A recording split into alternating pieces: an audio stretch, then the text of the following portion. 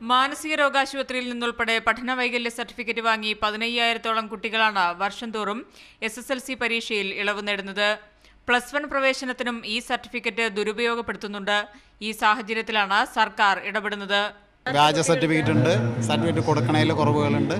ഇതെല്ലാം പരിശോധിച്ച് പരിഷ്കരിച്ച് പൂർണമാക്കി മാറ്റിയെടുത്ത സർട്ടിഫിക്കറ്റ് തന്നെ കൊടുക്കും.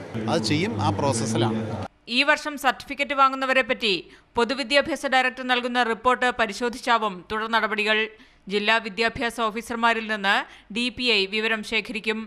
പഠന വൈകല്യ സർട്ടിഫിക്കറ്റ് അഞ്ചാം ക്ലാസ് മുതൽ നൽകുകയും എസ് എസ് എൽ സി പരീക്ഷയ്ക്ക് മാത്രമായി ഹാജരാക്കുന്ന രീതി അവസാനിപ്പിക്കാനും സർക്കാർ ആലോചിക്കുന്നുണ്ട്. വിദ്യാഭ്യാസ സാമൂഹ്യക്ഷേമ സെക്രട്ടറിമാർ ഇത് സംബന്ധിച്ച നിർദ്ദേശം തയ്യാറാക്കും. P V Shalini Mathrubhumi news Kozhikode.